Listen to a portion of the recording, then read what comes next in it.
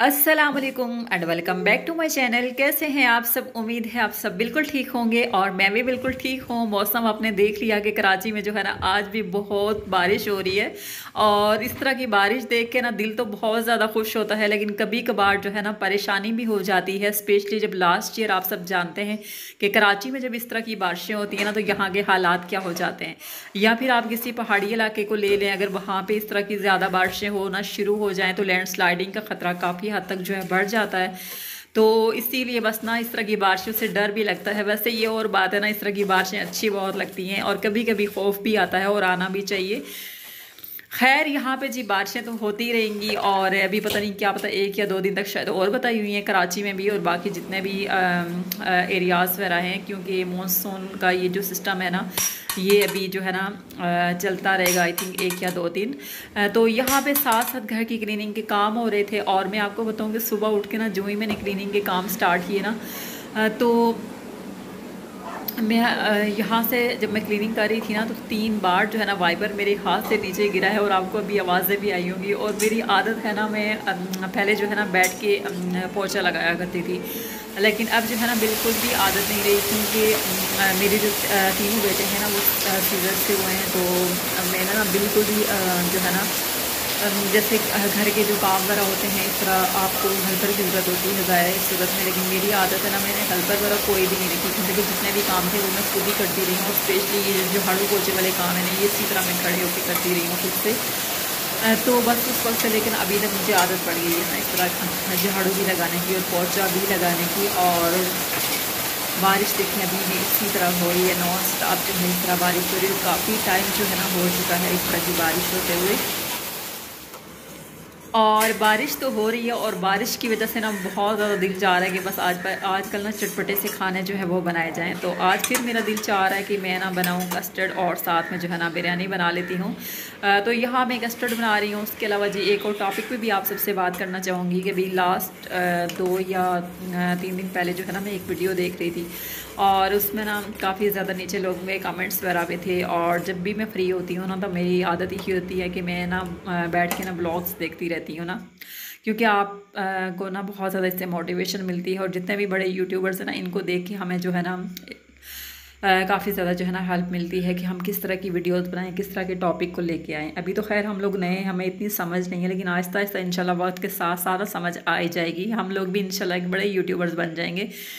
तो बात कर रही थी मैं वीडियो के हवाले से तो काफ़ी लोग वहाँ पे ना इस तरह के कमेंट कर रहे थे क्रिटिसाइज़ कर रहे थे। एक बड़ी यूट्यूबर थी और दो तीन लोगों को लेके ना कि ये लोग कोई आसमान से उतरे हैं कि लोग जो है ना इनको सपोर्ट करते हैं, इनकी वीडियोस को वॉच करते हैं, इनको बहुत ज़्यादा सपोर्ट करते हैं। हम लोग जो है इतने अरसे से मेहनत करें हमें कोई सपोर्ट नहीं करा, हमारे चैनल जो है वो ग्रो नहीं करे। काफ़ी ज़्यादा जो है ना इस तरह के कमेंट्स वगैरह जब मैंने पढ़े ना तो मैंने सोचा क्यों ना मैं इस टॉपिक को भी जो है वो डिस्कस करूँ। हो सकता है हम में से भी या मेरे बहुत सारे व्यूवर्स ऐसे होंगे, उनके माइंड में भी इस तरह की कोई ना कोई बात हो। तो मैं आपको ये बताऊँ, जब हम लोग वाई पे जब नए आते हैं तो हमें ना बिल्कुल भी समझ नहीं होती हम क्या करें, क्योंकि इतनी जल्दी तो यहाँ पर कामयाबी मिल नहीं सकती, ये तो आप सबको पता है। ये जितने भी बड़े यूट्यूबर्स हैं, शुरू में इन्होंने भी इसी तरह के हालात फेस किए हैं, जैसे हम लोग अभी जा रहे हैं स्लोली इसी तरह इन लोगों ने भी देखा होगा अपना टाइम जो है, लेकिन इन लोगों ने ना नॉन स्टॉप जो है ना वीडियोस अपलोड की हैं। वाई को बहुत ज़्यादा टाइम दिया है, मेहनत की है, क्योंकि मेहनत के बगैर ना आपको कुछ भी नहीं मिलना। मेहनत और दूसरी बात होती है सब्र। जब तक आप मेहनत करते रहेंगे और सब्र भी करते रहेंगे तो आप यकीन करें एक दिन जो आपका सब्र का फल और मेहनत का फल ना आपको मिल के ही रहता है। इन लोगों को भी जो है पक्की पकाई जो है ना देख अगर हम लोग कहें तो वो नहीं मिल गई। इन लोगों ने भी इसी तरह मेहनत की और बहुत मेहनत करने के बाद बहुत टाइम लगा के ये लोग आगे आए हैं। इनकी वीडियोज़ वायरल हुई हैं और आज जो है ना इन्होंने ये अपना मकाम हासिल कर लिया है। तो किसी को क्रिटिसाइज़ करने से बेहतर है ना हम अपने अंदर की जो खामियाँ हैं उनको दूर करें। हमारे अंदर भी बहुत सी खामियाँ हैं।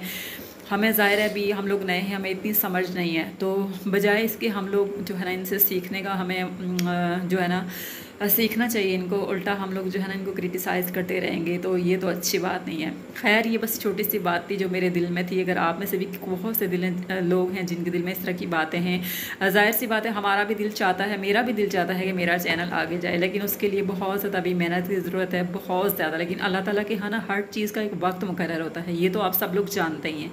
एक वक्त ऐसा आएगा जब हमें भी कामयाबी मिलेगी, लेकिन हमें ना सब्र का दामन जो है ना वो हाथ से नहीं छोड़ना चाहिए। उसके अलावा अपनी वीडियोस जो है ना वो आप रेगुलर जो है ना इसी तरह अपलोड करते रहें। इन कामयाबी बहुत करीब होगी, आपसे दूर नहीं होगी। बस मेहनत जो है ना हमने करनी है करनी है तो बस करनी है। तो आई होप कि आपको जो है ना मेरी बात जो है ना बहुत से लोगों को समझ आ गई होगी कि मैंने ये बात क्यों की है।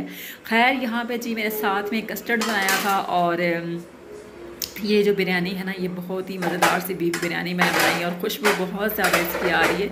और मेरे पास ना धनिया बिल्कुल भी नहीं था क्योंकि बाहर जो है ना बहुत ज़्यादा बारिश हो रही है वो तो आप सब लोग देख ही चुके हैं मौसम किस तरह का है यहाँ पे। तो बस जो चीज़ें मेरे पास घर में अवेलेबल थी ना, मैंने बस उन्हीं चीज़ों को लिया और साथ में बस मैंने रायता बना लिया था, कस्टर्ड मैंने बना लिया था और बस जो चीज़ें मेरे पास थी ना उन्हीं से जो है ना मैंने गुजारा कर लिया। क्योंकि कभी कभी ऐसा होता है ना कि ऐसे ही बैठे बैठाए जो है ना हमें इस तरह की कुछ ना कुछ चीज़ खाने का दिल चाह रहा होता है और कभी कभी ऐसा होता है कि सारी चीज़ें आपके पास नहीं भी होती, उसके बावजूद भी जो है ना आपका दिल तो चाहता है ना आप इस तरह कुछ बना के खाएँ। तो मैंने भी जो है ना आज वेदर डिमांड जो है वो अपना डिनर रेडी किया है।